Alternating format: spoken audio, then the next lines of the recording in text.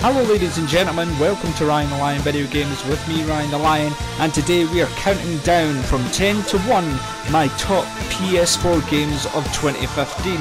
Now these are consisting only on the PlayStation 4, truly to the fact because I don't have an Xbox One and or a PC. So this is the top 10 games of 2015 and I hope you can enjoy them.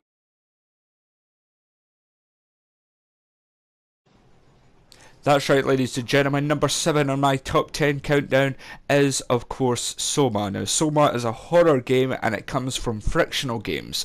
Now, if you've never heard of Frictional Games and you haven't played Amnesia, Amnesia is probably one of the best horror games on, play, uh, on PC, uh, excuse me, and I think personally they have done a great job with Soma.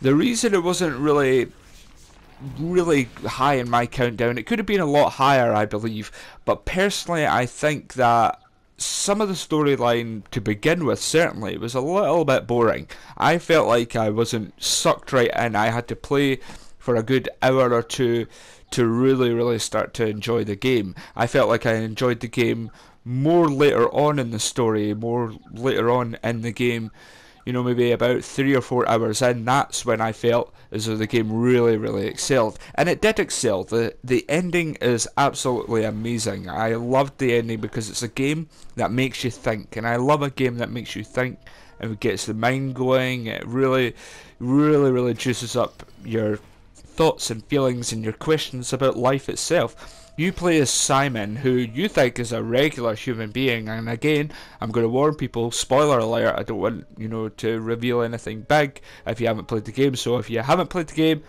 put it, this video off right now and go play it.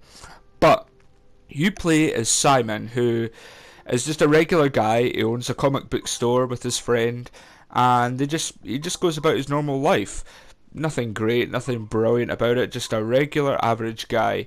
But he was involved in a car accident 10 years ago and he has a lot of brain issues, he has a lot of interference, he gets a lot of headaches, etc. And you know, goes to see a doctor about it. Well, what he thinks is a doctor who's a bit more experimental and wants to try an experimental kind of surgery um, on his brain. But then he realizes that things go horribly wrong, horribly fast, and he comes to realize that he isn't just any normal human being. He is, in fact, an AI, a kind of data that gets put into another person's body. Now, and he realizes that his original Simon, his original human body, has been dead for almost possibly a hundred years. And a comet has you know, hit the earth and the earth went to explode basically. So they go underwater and they're trying to find a solution. This company, this place, these scientists are trying to find a solution on where to go, how to do it, and how they can save humanity. So they put everyone's memories, thoughts, and feelings into AI data files, like a kind of memory card, and they send them away off to a thing called the Ark. And the Ark is a program where it's been, excuse me, an Ark is a program where it's been saved. So it's a program where it looks like regular life. There's trees, there's an environment, there's nature all, all around you, buildings, etc. So it just looks like Earth, but it's not. And you are not a human being anymore. You are an AI, a, a computer, a robot kind of thing.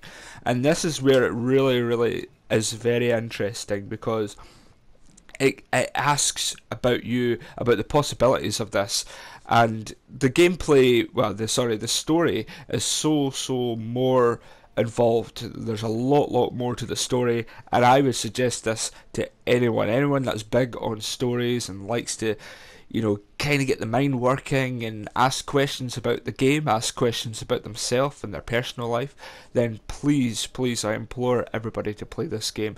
Not only that, it's a horror game, so the horror is fantastic. There's great atmosphere about it. It's very dark. It's very, very creepy a lot of the time.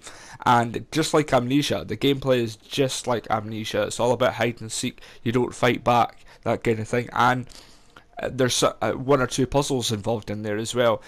So the gameplay is really interesting.